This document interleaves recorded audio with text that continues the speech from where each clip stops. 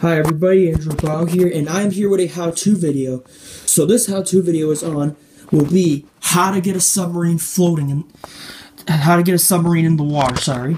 Now anyways, so we have a submarine over here which I got at the museum and it was made in the 1950s. This is a original 1950s serial agreement and we got the instructions on the back.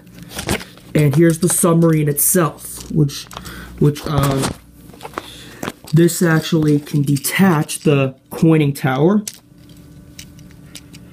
But anyways, let's get started by get doing the experiment. Okay, so so we have to so step one is to fill a container with six or seven inches of water, which we which I filled it up earlier before the beginning of the video. Next, we need to um. First step one is dip the sub in water, then shake out excessive water leaving moisture in the screen only. Okay, so, so first, in order to do that, we need to take this off.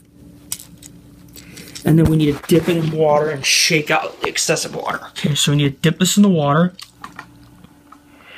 And now we need to shake out the water.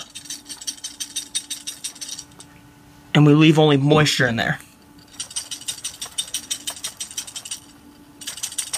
Alright, so I shook out the water, now we just have moisture in there.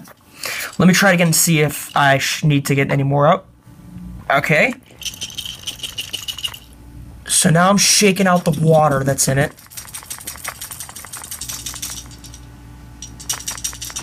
So now there's only moisture in this.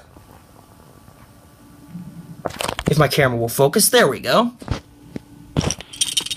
So next, we need step two. We need to fill the bubble chamber completely with. Oh, sorry if my hand's blocking the way. Next, we need to fill the bubble chamber completely with a, with a loose charge of baking powder. Powder, not baking soda. They're both completely different. And white bottles have baking powder, which I have baking powder off to the side. I've already dipped the submarine in there. So now I need to get the baking powder open. Alright, so I'm opening the baking powder. And I got a spoon over here so we can fill fill it um, with baking powder. So I gotta fill a completely baking powder, not too full. So, okay. Just gonna get my camera over here. And then I'm just gonna take the baking powder out of here. Oops, sorry, I'm having trouble scooping it up. That doesn't matter, we only need loose ones. And then you just fill this up. Which I'm pouring the baking powder in right now. I know it's a little messy. I know it's, it's a little messy right now because the powder is messy, but we'll clean it up soon. I'm just going to put a little more in here. Alright, so it's already full, so now we can clean it off. I have a paper towel here, we can clean this off. Now we just have to clean off the baking powder.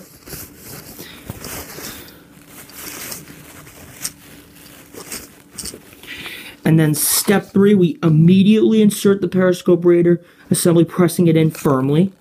So this is the periscope thing, which we gotta firmly press it in.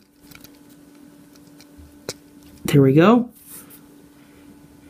And now, step four, we gotta grasp the sub by the conning tower and shake vigorously underwater a few times and then let it go. And the submarine will submerge into surface automatically and then gently stir the water and the sub will cruise on surface. So, so now we gotta shake this underwater.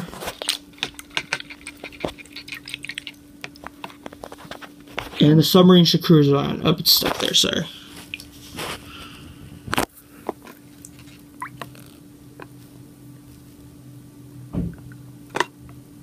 And the submarine should cruise around in water and surface, which um, I am.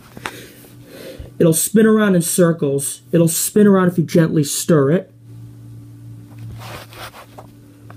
and then we're going to see if it floats. It, it'll go on for several minutes. The submarine actually does float, like, see that? It'll submerge above water when you shake it vigorously. And if you stir it gently, it'll just go around circles. See this? Can I bring my camera up and I'll show you it.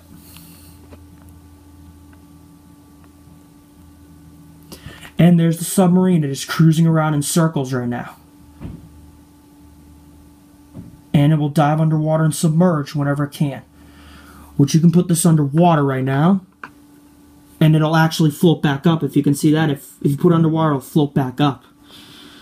It's a very nice submarine. Overall, it's good. I like it. I got it at the, I got it in Groton, the submarine museum. So yeah, hope you enjoyed this little experiment slash demonstration. Thank you for watching. Bye.